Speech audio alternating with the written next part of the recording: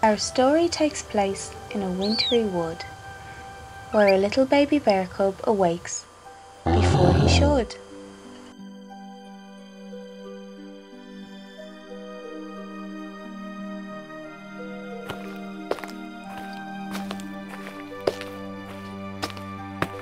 With his mother still asleep, he dares to explore this wintry woodland that he's never seen before.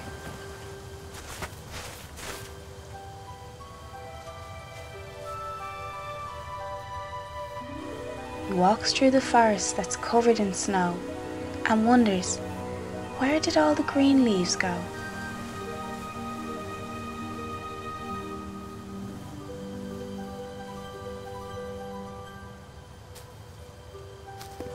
Little Squirrel sees him up from the treetop and hurries to warn Little Bear Cub to stop.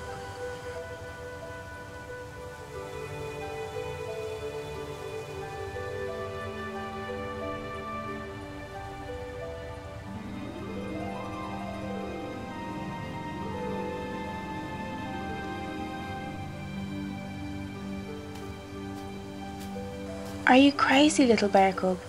Have you lost your way? Please heed my warning, little squirrel did say. You shouldn't be awake yet, or didn't you know that you are being followed by a strange shadow?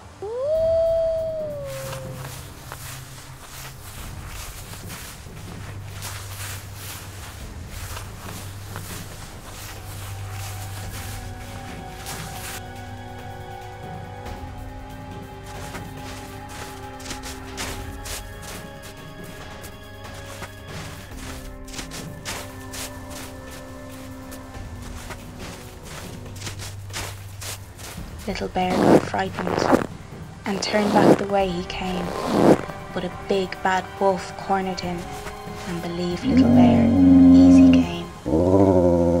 Just as Little Bear thought, he was no more. A loud sound rang out that he'd never heard before.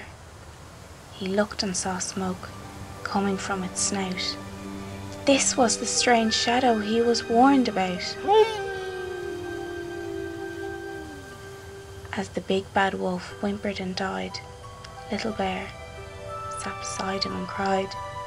He barely noticed behind him Mother Bear had appeared to find him alive and not killed as she'd feared. She warned Little Bear, no animal is safe, neither big or small. Man and his weapons will be the death of us all.